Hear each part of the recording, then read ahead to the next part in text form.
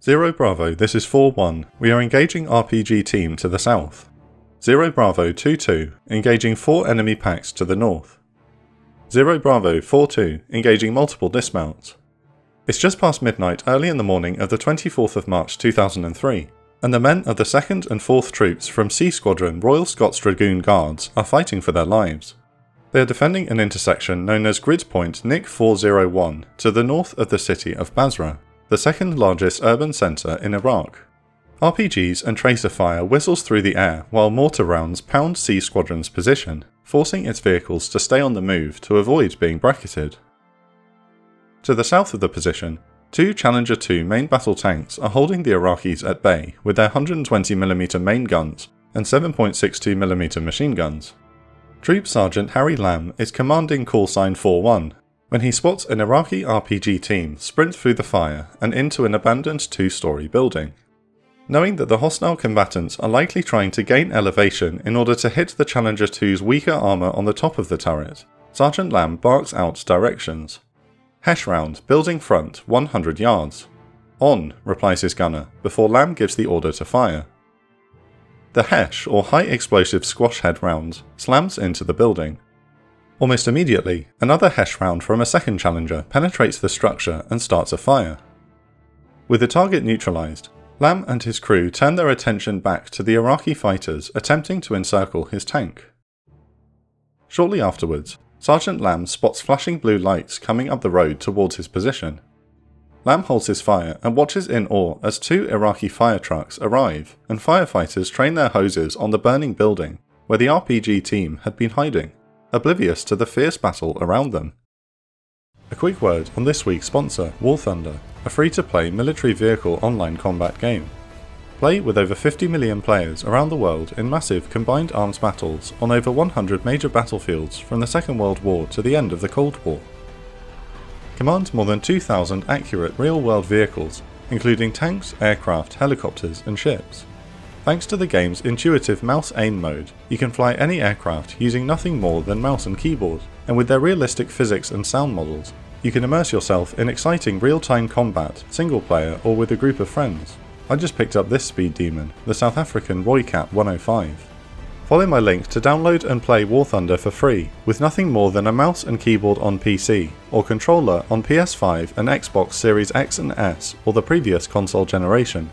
For a limited time only, new players across all platforms, as well as those that haven't played for at least 6 months, can claim a large bonus pack including multiple premium vehicles, premium account, an exclusive 3D decorator for your vehicles, and more.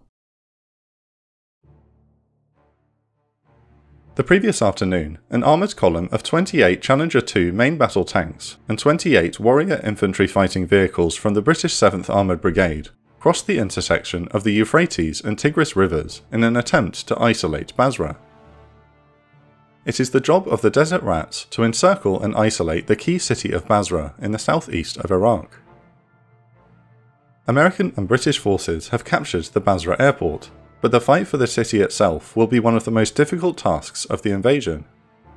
The Fedayeen have a particularly strong grip on the population in Basra, ruling out any attempt to storm the city. Instead, the British plan is to besiege the Iraqi units holed up inside while creating a humanitarian corridor for civilians to evacuate. The Desert Rats lead the way as the British armoured spearhead continues northeast to cut off the city. Two hours later, the headquarters of the 7th Armoured Brigade receives a disturbing report that Iraqi forces are moving to cut off the column at Nick 104 and issues the order to evacuate the exposed position. Brigade headquarters has received intelligence suggesting that Iraqi special forces will destroy the two bridges over the Qarmat Ali Canal, trapping the battle group. The Royal Scots Dragoons hurriedly prepare their 56 vehicles and make a fighting withdrawal back to friendly lines, one of the Challenger 2 commanders radios Captain Ben Catamol and asks, Is this a retreat, boss? To which Catamol answers, Well, it's not a bloody advance, is it? Despite heavy Iraqi fire, all 56 vehicles make it back to base, and the Royal Scots suffer no casualties. This engagement is just the beginning, as the British begin to lay siege to Iraq's second city of 1.5 million people. Also on the 24th, Royal Marine 40 Commando and 29 Royal Artillery conduct an artillery raid against an Iraqi armoured brigade. The 105mm field artillery guns are helicoptered into enemy territory, escorted by the Royal Marines to engage Iraqi targets. With the help of US A-10s and FA-18s, 20 Iraqi tanks are knocked out, rendering the brigade combat ineffective before it even got into the fight. By the end of March 24th, British 1st Armoured Division has successfully isolated Basra, where one of Saddam's closest associates, Ali Hassan al-Majid, commands the defence of the city. Al-Majid is better known by his nickname Chemical Ali, after his use of gas against Saddam's opponents. The British have no intention of fighting an urban battle and instead establish a loose siege along with humanitarian corridors to allow Basra's residents a chance to leave the city. However, Al-Majid orders his forces to shell the corridors on a daily basis, killing and wounding dozens of civilians. Not willing to indiscriminately bomb the city in response, British soldiers can only stay where they are and try to help the wounded. Luckily, the capture of the nearby port of Umm Qasr has ensured a steady stream of supplies to the front. Following their retreat from Nick 104 grid point, C Squadron of the Royal Scots Dragoons is redeployed to the former RAF base at Shaibah Airfield to the west of Basra. For the next two days, the Royal Scots Dragoons reduce enemy resistance in the town of Az Zubayr while the siege of Basra continues. On the night of the 26th of March, C Squadron's commanding officer, Major John Biggart, receives a message from 1st Armoured Division headquarters to move out immediately. While trying to clear the rest of the Al-Faw Peninsula, 40 Commando, led by Lieutenant Colonel Gordon Messenger, is spread dangerously thin, and a column of Iraqi tanks is expected to hit the Royal Marines soon. One tank crewman is roused from his sleep and exclaims, Where are we off to? Blackpool Pleasure Beach? To which his comrade responds, The other side of the Al-Faw Peninsula, you muppet.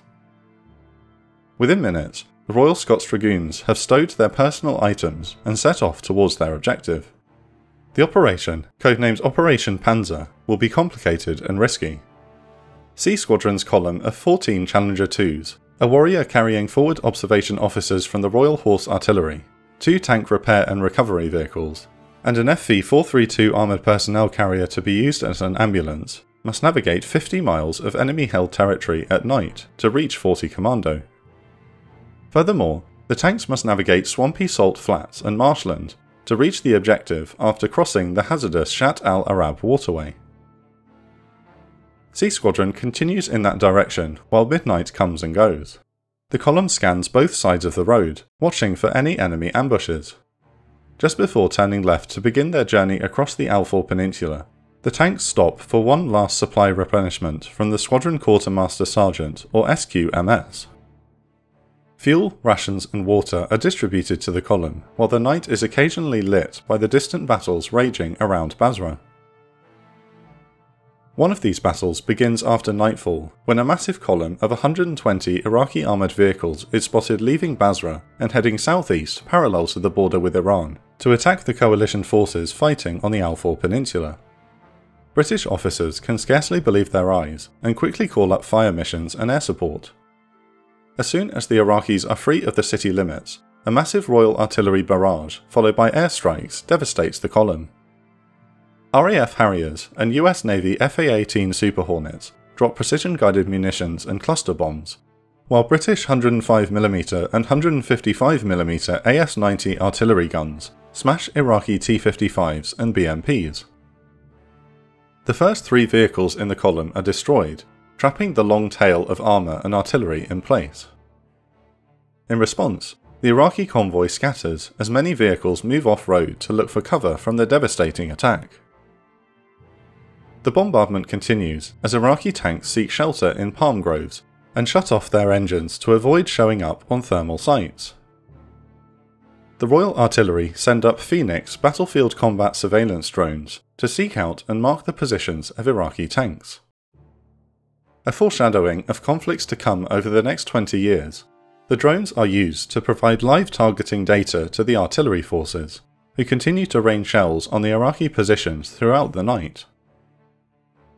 By the following morning, the Iraqi column will be spread out, disjointed, and without any form of organisational cohesion, not that there was a great deal to begin with. Meanwhile, just to the south of the city, the Royal Marines of 40 Commando are digging in at their current position. Reports of an enemy armoured attack in the morning of the 27th of March have greatly disturbed Lieutenant Colonel Messenger, who only has five lightly armoured FV 107 Scimitar reconnaissance vehicles to augment his defences. These scimitars would be outnumbered and outgunned even against the Cold War era Iraqi tanks in the area. Inside Basra itself, Chemical Ali decides the best way to draw the British into a fight inside the city is to attack the Royal Marines while they are vulnerable, then pull back to the urban terrain when the British counter-attack. It is imperative that the Royal Scots Dragoons arrive on time to support the Marines. At 3am, C Squadron reaches their designated crossing point over the Shatt al Arab waterway to find a 250 foot wide stretch of fast moving water. 3 Troop of 23 Amphibious Engineer Squadron from the Royal Engineers have constructed a pontoon ferry to carry each tank across one by one using a German built M3 bridging rig. The M3 is a wheeled vehicle that can act as rafts and be combined to create a floating bridge. Here they are being used as a ferry.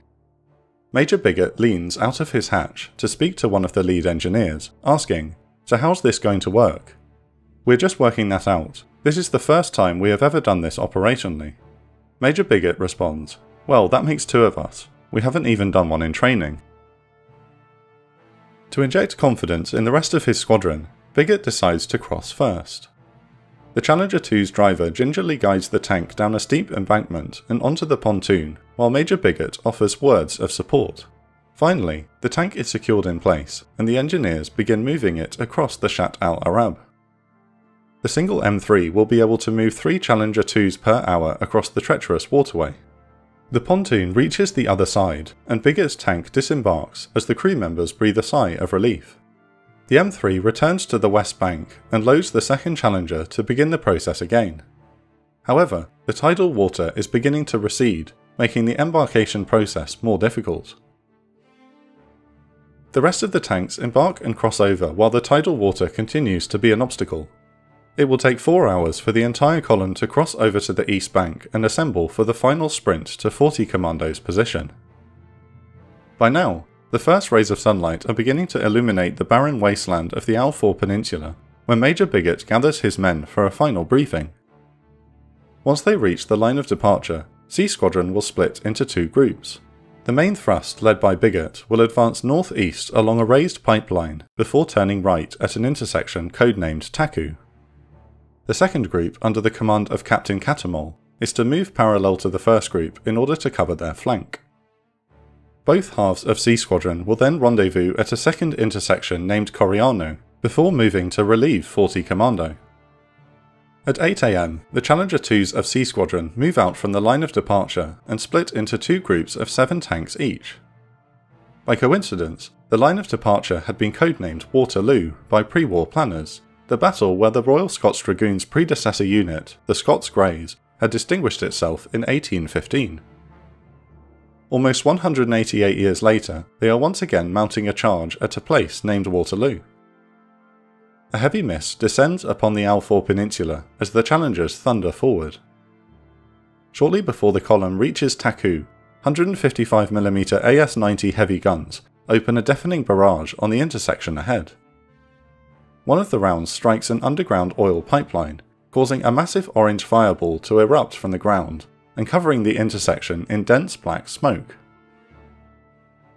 The column slows to a crawl as they approach Taku as visibility gets worse. When Captain Fraser McClellan's leading Challenger 2 is 200 yards from the objective, the smoke finally clears, and he immediately spots an Iraqi T-55 tank rotating its main gun barrel towards the approaching British armour. He quickly radios a warning, 030 contact tanks, wait out.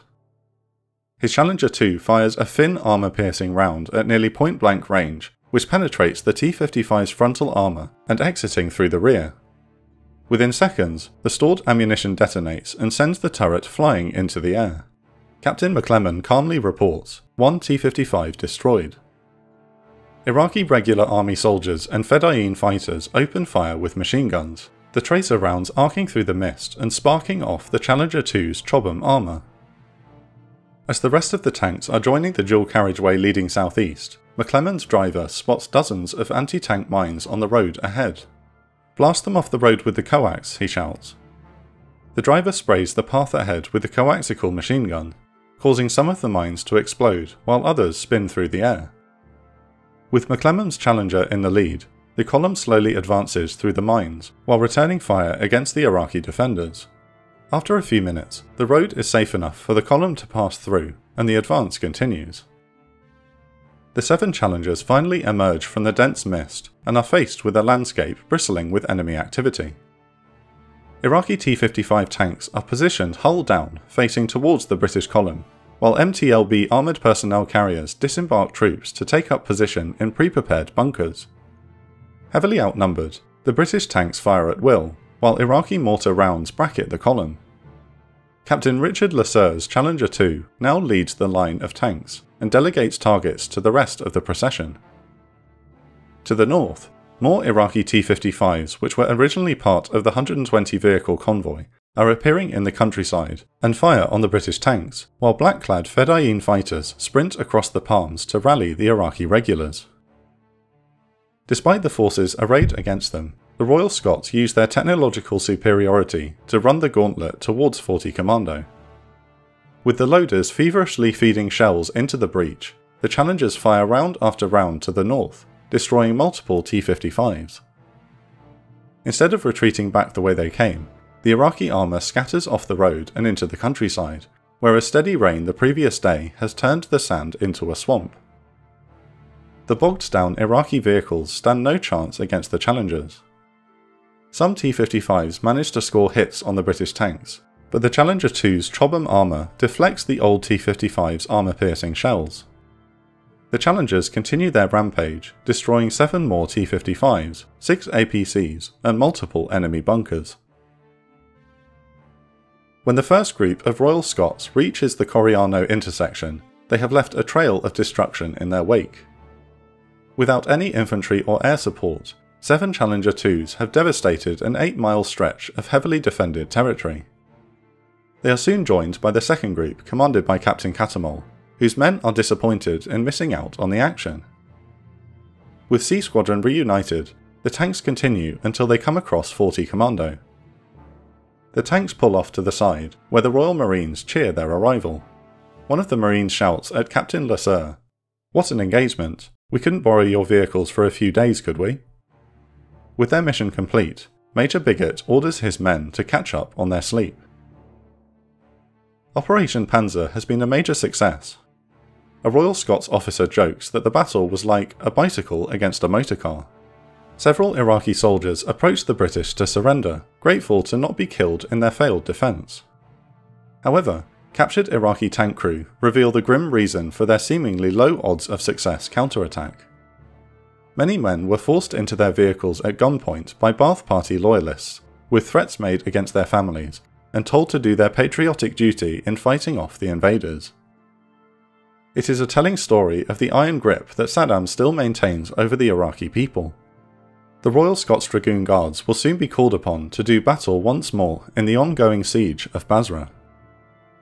Follow the link to download this week's sponsor War Thunder, where for a limited time only, new players across all platforms, as well as those that haven't played for at least six months, can claim a large bonus pack, including multiple premium vehicles, premium account, an exclusive 3D decorator for your vehicles, and more.